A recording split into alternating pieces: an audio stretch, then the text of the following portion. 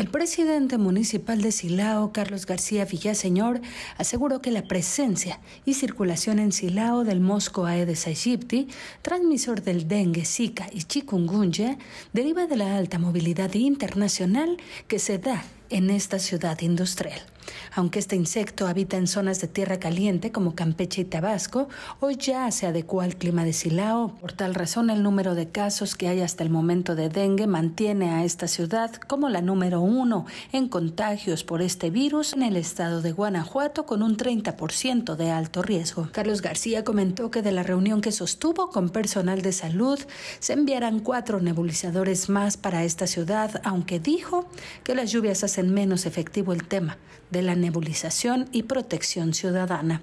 Asimismo, informó que en los últimos 15 días se han sucedido reuniones con los delegados y los presidentes de colonias para explicar algunas medidas importantes del dengue, aunque destacó que la descacharrización es la madre de todas las acciones preventivas para evitar los contagios y la presencia de este mosco en la ciudad de Silao. Para Noti 13, Gaby Bárcenas.